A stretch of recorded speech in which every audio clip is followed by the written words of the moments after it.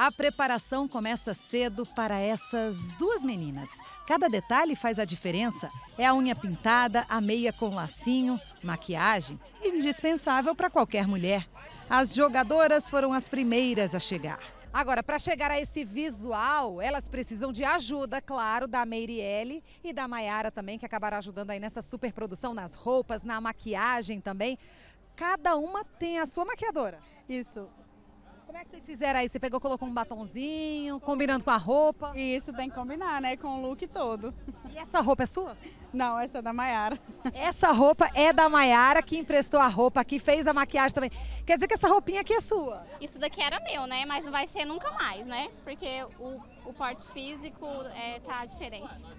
Agora o Ângelo e o Marcos, que receberam hoje o nome aqui de Madalena e Anjinha, só por hoje, já participam dessa festa há 10 anos e é sempre assim? Todos os dias são assim, to todos os anos, né? A gente chega, é os primeiros a chegar, os últimos a sair. Não tem hora para chegar, não tem hora para sair. O futebol de saia é uma tradição que já dura 22 anos na Vila João Vaz, na zona oeste de Goiânia. Se foi entre os amigos, né?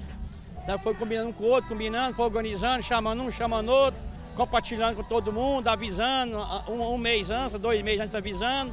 Aí vai nas casas, vai atrás, vai passando no WhatsApp, vai pondo no grupo, vai é, nas redes sociais, né? E vai desse jeito. E deu certo. Duas décadas depois, o evento só cresce. As pessoas levam alimentos para ajudar a quem precisa e lotam a rua ao redor do campo naquela agitação.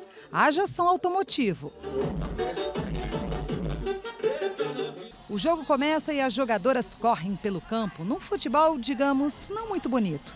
Mas o que vale aqui é a descontração. E isso tem de sobra. Tem jogadora mandando recado para o Cláudio Silvério durante a partida. Oh, é do Cláudio Silvério! Vermelho, é para atenção! É. Cláudio Silvério! E tem cada figurino. Olha a goleira num vestido longo. Você vem sempre de longo assim? Não, primeira vez. Primeira vez de curtinho. Ela é minha esposa, tá, amor? Vai, demônio. Todo dia 1 de janeiro é certo.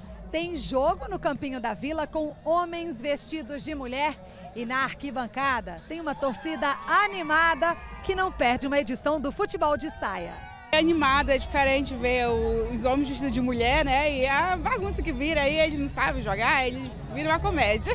Uma graça, né? Muito divertido começar o ano com uma alegria. O placar do jogo, nem o time sabe ao certo. Só sei que eu tô perdendo, eu só não sei o placar ainda, mas já tô perdendo de muito. O que vale aqui é começar o ano com alegria. Tá top, ó. pode vir no próximo ano que vocês não vão se arrepender.